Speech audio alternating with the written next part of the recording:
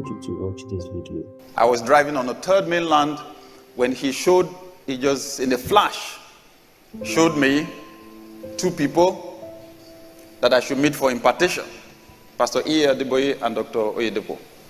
So I wrote to Pastor Adeboye and got an appointment and got him to pray for me. And then Bishop Oyedepo, I was trying to meet and it just wasn't working out. The relationships that will change your destiny, heaven will reveal them to you. It was 95, just before we started Daystar, you know, and the Holy Spirit had given me a vision. I was driving on the third mainland when He showed, He just in a flash showed me two people that I should meet for impartation Pastor E. Adeboye and Dr. Oyedepo. So I wrote to Pastor Adeboye and got an appointment and got him to pray for me.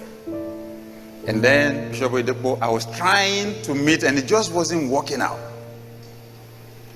And Pastor Nike was attending uh, Wobi, the training there. And this particular Monday morning, she had gone, and I was just praying. I was just praying, just praying in the spirit. And it was like video. I saw her trying to walk through a door, and he was trying to walk out. And she stepped aside for him to pass through the door. That's. And he stopped, asked who she was, and sent for me. Now, it was too good for me to be true. My conclusion at the end of the prayer was that it was my wish that I was just playing in my imagination. I, so I kept it. I didn't even say anything to her. Wednesday evening, she came back from the training and said, Guess who I met, met today? I said, Who? She said, I met Papa. I said, Hey. Yes. And he said, You should come on Friday. I said, Hey. What happened? What happened? she said she was walking out of the office of the dean and he was walking in and stopped. She greeted him, so he stopped. said, oh, I know you. She introduced herself. Do you know? I'm, I'm the wife of your son. They said, oh, oh, oh, oh, where is he? Said, ah, He's been trying to see you. He would like to see you to explain to, to you what, what, what happened. Say, PA, tell him to come on Friday. PA, make sure Pastor David sees me on Friday. In the early days, you know, of my relationship with Bishop Oyedepo, I, I wanted to see him every day, if possible, every week. And it was getting complicated. I said, Lord, what's going on? The Holy Spirit said, Wait, wh- why did I connect you with him? I said, For transference of grace. You told me I can get grace through prayer, I can get it by meditating in the word, and then you said I can get it from someone that already has it. He said, Good. Grace. He said, he said, 2 Peter chapter 1, verse 2, grace and peace be multiplied to you through the knowledge of God and of our Lord Jesus Christ. Said, My knowledge is a carrier of my grace. If you know what he knows, you will carry the grace he's carrying. Said, okay. So I would call his PA. Can you please get all the tapes of the last three months for me? Okay, I'm coming by next week to see him, and I'll just take all of them, or I'll send someone to you tomorrow to take them. I would listen. Anytime I was getting set for the office in the morning, I would play one. While I went to the bathroom, I would keep the bathroom door open. I'll be listening, listening, listening while I was getting ready to go to the office. When I jumped into the car, there was another one there in the player in the car. I, I listened to them over and over and over and over. And every time I listened, I enjoyed the message quite all right. But what I wanted was deeper than that. How does this man think? Where does this man get these things from? I want to be able to think like that. I want to get revelation like that. I want this anointing. Uh, Mondays, that would be my free days. I, I could listen to three straight stretch. There were some Mondays I would listen to five cassettes straight stretch. I wanted it. I wanted what he had. So this particular day, I listened to one. And of course, I was praying as I was listening. As soon as I was done, then I opened the Bible.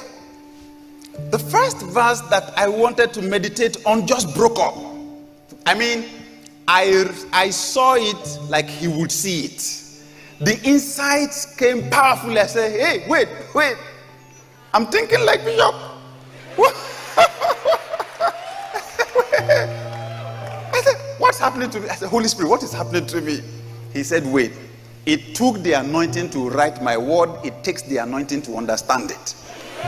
So you tapped the anointing from someone and you are using that anointing to meditate on my word. That's why you're able to understand it. I say, hey. Life is not hard. Life is not hard. I sat when the Faith Tabernacle was being constructed, you know, I sat at the site office. Pastor Nike and I were waiting to see Bishop. And that was a big question on my mind because there was it was this massive project going on, and our church then was struggling. You know, it wasn't growing. So I was thinking, I can't be tapping the grace on this man, and our church will not grow. What's going on? There's a break somewhere. There's a break somewhere. Holy Spirit, what's going on? He said, John 6:28. John 6:28. I knew what was there, but still, I opened it right there at the reception. They were asking Jesus, What must we do that we might walk the works of God?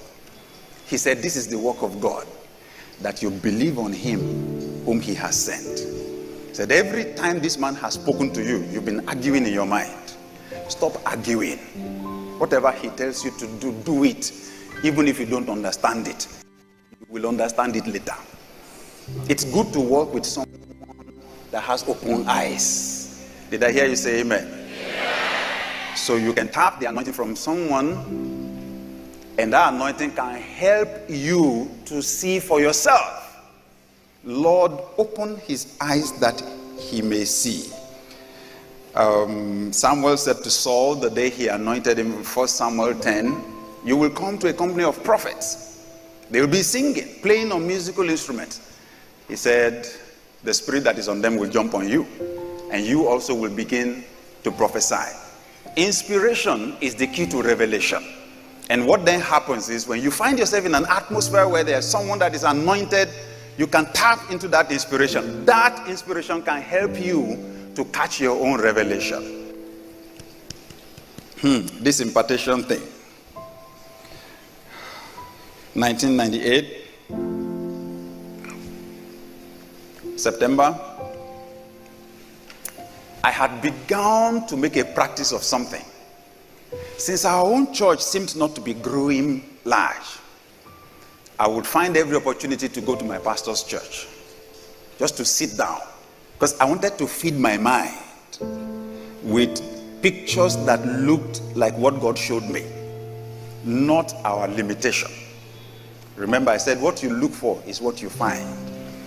So I attended this conference uh, September, I think, was it August or September 98? And then I was asking him, uh, Can I see you next week? I'd like to come back next week. Uh, he said, I won't be around next week. I, we have a our convention in Kaduna. So I'll be in Kaduna. I said, Sir, can I come along? That question was strategic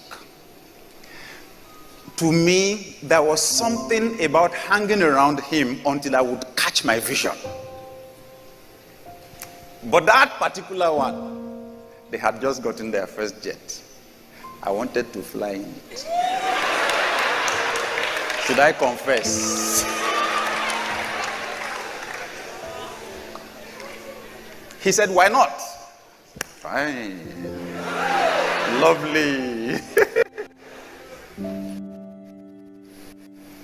So, of course, the, the first thing was they told us where to come, you know, at the airport. So, for the first time, I didn't go to the counter, I didn't go to board through. I drove into the airport and walked on the tarmac.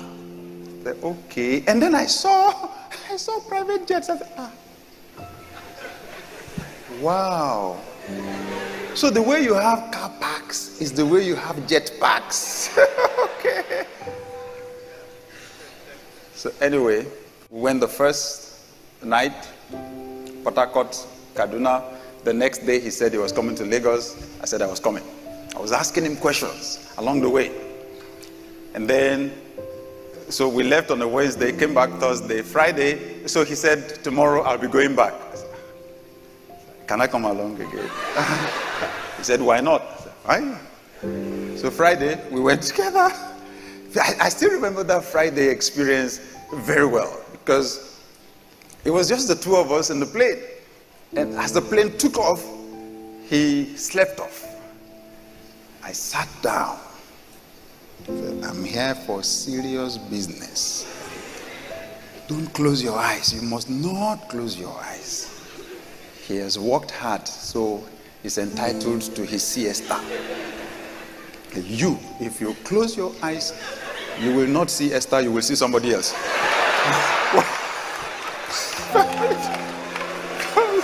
Open your eyes. And then the Holy Spirit was just playing things to my mind. All my excuses died that day. But he has the same background with me. He's an African. He's this, he's that, he's that. I'm even taller. Why on this planet should I not turn out well? I was processing. And then Saturday we came back. Anyway, two weeks after that trip, I woke up on the Saturday morning and I had been in a vision. And in that vision, himself and Mama drove into our premises. And then he went back into the car. Remember, it's a vision because I've had somebody said that. Um, that I said that Bishop Oyedepo came to our church and that he planted a tree. That's why our church grew. No, be so. It was a dream. It was a dream. It was a dream. But when he planted it and began to prophesy, and then people began were running, rushing, and within a short time there was a large crowd. It was a new building. Inside was packed out, outside was packed out. And then they left. After they left, pastor friends from around the city began to shake hands with Pastor Nike and myself. And I woke up. I said, Lord, this is a vision. Now, it, it was a vision because God does not normally use dreams to talk to me. So I usually don't remember my dreams. And I don't bother. Some, some people say, yeah, I had a dream, but I can't remember. Leave it. Eh, eh, He's not a difficult God. If he really wants you to know what's in the dream, he will show you again or tell you what it is. Leave it. But the point I'm trying to make is that I believe it was the impartation from my hanging around him that positioned me in that place where I was able to capture this thing for myself. And it wasn't a Jew, it was big. What I saw that season is still manifesting till now, almost 20 years later.